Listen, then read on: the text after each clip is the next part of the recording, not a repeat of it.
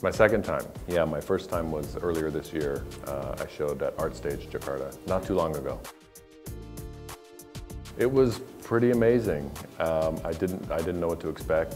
You know, my first time here, I'd never even heard of Jakarta, but uh, but it seemed interesting. And, and I, I one of my mantras is you know try to try to experience new things. And if you get the opportunity to leave, you know, your comfort zone, then then do it. So jumped on a plane and, uh, and came and everyone was so accepting and kind. I feel like everyone here is very, very curious about new things. They welcomed me with open arms. I've always called myself a painter, but um, yeah, that's an interesting question because I've, I've recently started um, investigating 3D work, you know, some more sculpture type work, which I am painting on. I don't know, I think artist might be a more appropriate term at times. But there's something about brush to canvas, you know, that, that timeless uh, application of, of, paint, you know, of painting that, I, that I've, I've just always been drawn to. So yeah, there, I think there's something unique and special about calling yourself a painter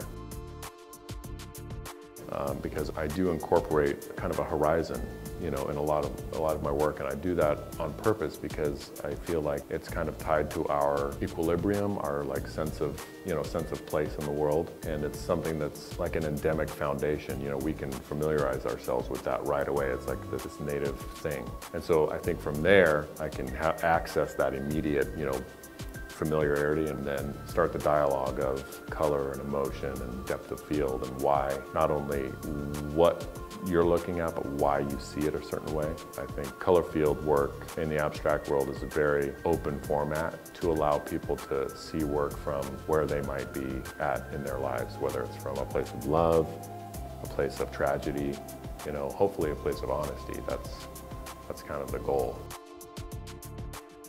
I, I, recently started doing some collaborations with some friends whose art I really like. Um, but it, it's pretty new. It's a, it can be a tricky endeavor, but with the right, the right person, it can create some really amazing stuff. The best you know, collaborations I think are you have to pair yourself with someone who can do something you can't do, right? Um, so I recently, you know, did some pieces with um, a sculptor. You know, I, I a weld, and he's welding and doing all the things. I, I can't weld. You know, so so that's that's attractive to me. You know, that skill. Well, I I was just accepted into a museum, my first museum. Um, in Sacramento, it's my hometown. So that was that's a big, that's like bucket list, you know. That's like you know, and from there, hopefully, it'll, yeah, I can, I can work on, work towards getting into more museums. But that's, that's always been high on my list. The notoriety and respect of that is very attractive to me. And my father being a professor, you know, I think um, I was just very excited to tell him about that. You know, it kind of solidifies a lot for me. Uh, so that's, that's a big one um, as a painter. Just be as great as I can. You know, keep pushing, keep growing, pursuing, you know, things like the museum acquisition. And it's, it's interesting because when you create a body of work that is received well and sells well and keeps selling well, that's all, okay, well, I should just do that, right? But that, that leads to insanity and, and, and, and it leads to repetition and repetition isn't always a bad thing, you know. I think it can make you a better painter.